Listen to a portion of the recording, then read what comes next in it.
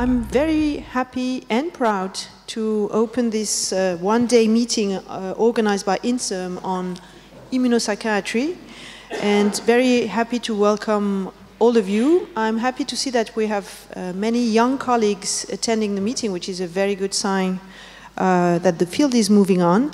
We have 150 people uh, listed as uh, supposed to be coming. Some of them are probably late sleepers. I hope they will show up because we also have a long li waiting list of people willing to come.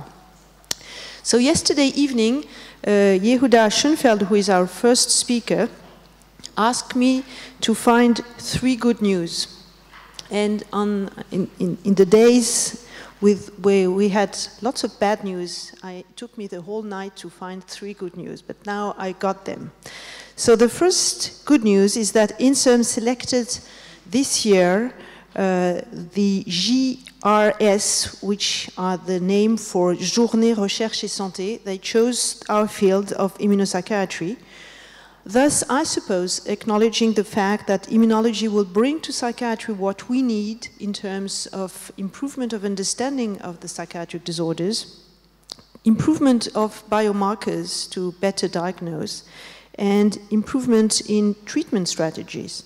And I want to thank INSERM for their very good choice and to thank particularly Barroso and Christine Tufro who have helped us with the organization of this one-day meeting and Riyad Tamouza and Vincent Vieillard, who have helped me with the scientific organization of the meeting. The second good news is that we're going today to listen to prominent speakers in the field, and I want to thank them to have made the journey and to have taken the time to share their knowledge with us. Thank you very much indeed. And the third good news is that I hope you're going to be convinced today uh, that the field is really moving fast for uh, really the sake and the improvement of the health of our patients. So I don't want to take the microphone too long. I just want to make a few minutes uh, of introduction to explain why this field is so important to us. So first, just uh, to remind all of you uh, of uh, the state and the importance of psychiatric disorders, I just want to summarize the data showing that psychiatric disorders are really a major public health concern in strong need of innovation in France, but not only in France.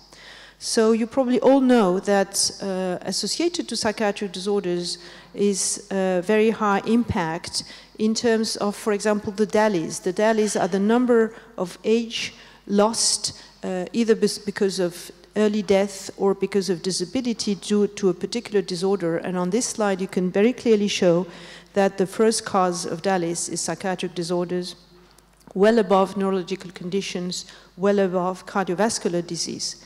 The second element is that uh, WHO predicts that by 2020, psychiatric disorders are going to be the first cause of disability. The second element of this slide is that uh, psychiatric disorders are associated with a very high prevalence, estimated in Europe to be up to 38% of people ha having had, having or that will have psychiatric disorders. The third point is cost. Uh, we all know that psychiatric disorders throughout the world is associated with a very high cost, and this is particularly the case in France, where we have been able to demonstrate that direct and indirect costs associated to psychiatric disorders go up to above 100 billion euro every year. Despite these figures, uh, there is a very limited investment in uh, research, in, in, funding for research in psychiatry in France, where uh, public funding for psychiatry is uh, close to 2% of the overall budget of biomedical research, despite the fact that there was a very good publication made by the London School of Economics showing that there is a high return on investment, possibly the highest of all medical fields, close to 37%. The other uh, worrying figure is the decline of discoveries of new treatments in the field for the past years.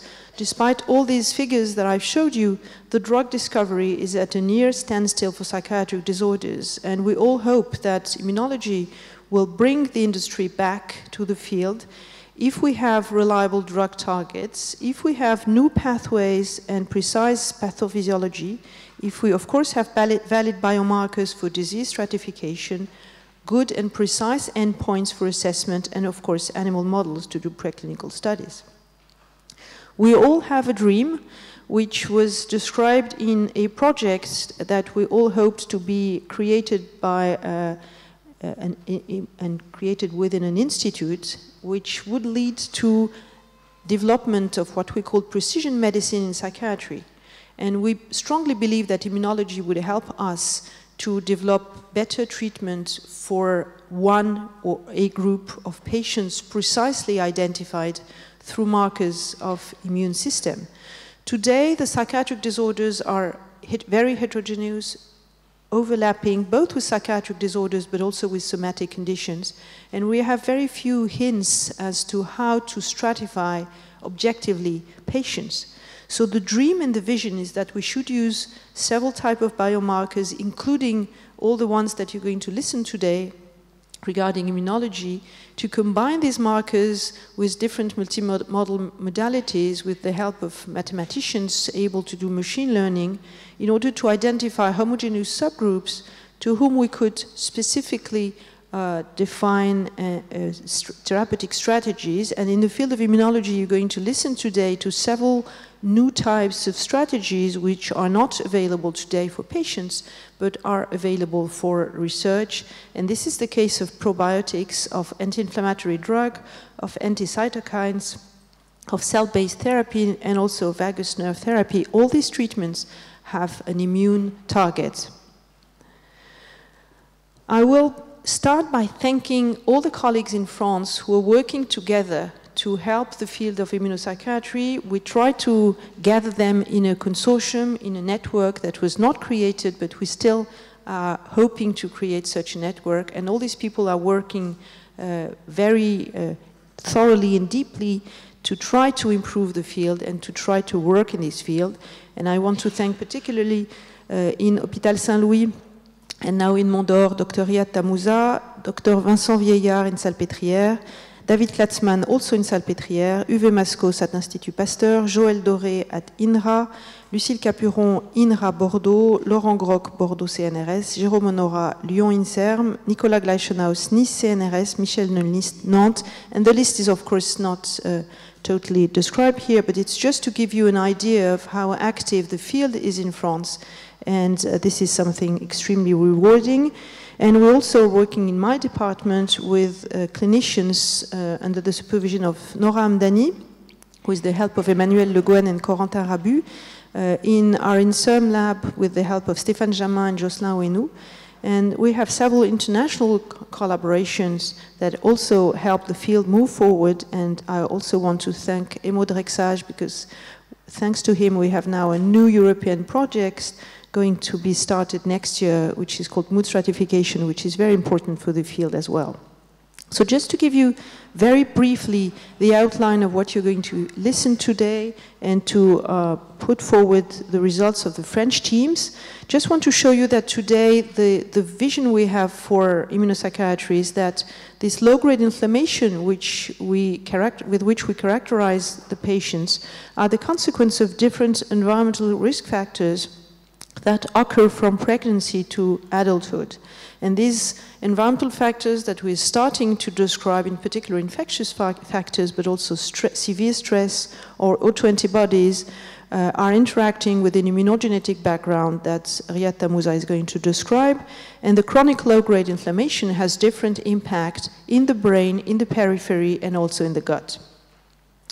What we've been able to describe is the fact that this genetic background probably put subjects at risk of not defending themselves against different insults in the environment. And I took here the example of infections, but it's probably the same with pollutants, for example, which we do not know precisely for the moment. The other very prominent finding has been obtained by the group of Laurent Groc. You're going to listen to this uh, today. And thanks to molecular neuroimaging, he's been able to demonstrate that the autoantibodies found in the patients have specific mode of action, which is very important to understand pathophysiology and treatment of our patients. The other examples brought by machine learning is the fact that combining uh, biological data such as cytokines with clinical factors, we're starting to be able to stratify patients and uh, identify responses to treatment. And this is also great hope for improvement of prognosis. I'm going to stop here the list. Was just intended to show you that the field was active, and I hope you're going now to enjoy as much as I will do all the speakers that we're going to listen to. And I give the floor to Professor Charles.